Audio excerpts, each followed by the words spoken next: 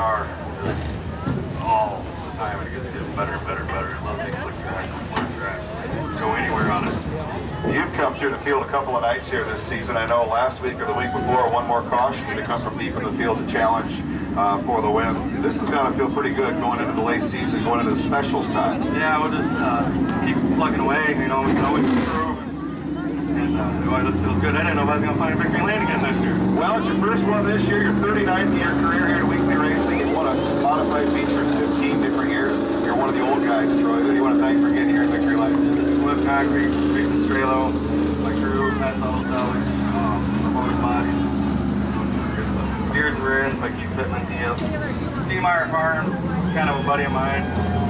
Web Concrete, I don't know if I mentioned them. Uh, I'm sure I'm forgetting somebody, but I just got to thank everybody. Uh, everybody that helps me.